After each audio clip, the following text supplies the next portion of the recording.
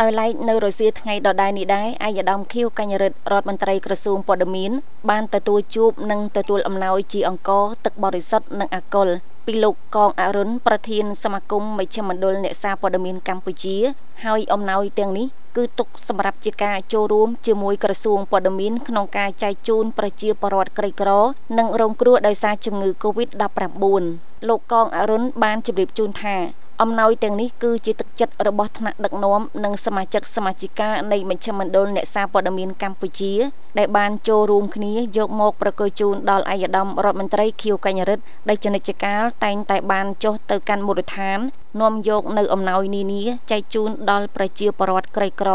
ដូច្នេះអំណោយទាំងនេះទោះបីមានចំនួនតិចតួចក្តីតែជាសន្តានចិត្តក្នុងការចូលរួមចំណែកជាមួយនឹងអាយដាមខៀវកញ្ញរិទ្ធក្នុងសកម្មភាពមនុស្សធម៌ សម្រាប់អកុលទុកចូលរួមចំណែកដល់ដំណើរការបង្ការនិងការការពារនៃជំងឺ Covid-19 នៅប្រទេសកម្ពុជាអាយដាមរដ្ឋមន្ត្រីខៀវកញ្ញរិទ្ធក្នុងនាមថ្នាក់ដឹកនាំមន្ត្រីរាជការក្រសួងព័ត៌មានសូមថ្លែងអំណរគុណចំពោះថ្នាក់ដឹកនាំសមាជិកសមាជិកាមជ្ឈមណ្ឌលអ្នកសារព័ត៌មានកម្ពុជា ដែលបានផ្ដល់អំណោយជាអង្គចំនួន2តោន ទឹកបរិសុទ្ធ50កេសនិងអកុល3កានស្មើនឹង90លីត្រជូនក្រសួងព័ត៌មាន អាយដាមរដ្ឋមន្ត្រីបានបញ្ជាក់ថា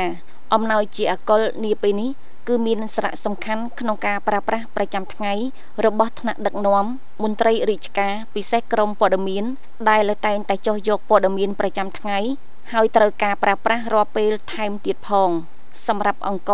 និងទឹកបរិសុទ្ធគឺទុកសម្រាប់យកទៅចែកជូនដល់មណ្ឌលកុមារកំព្រា កុមារក្រីក្រ និងប្រជាពលរដ្ឋងាយរងគ្រោះ នៅមូលដ្ឋានស្រុកកោះសូទិនខេត្តកំពង់ចាម។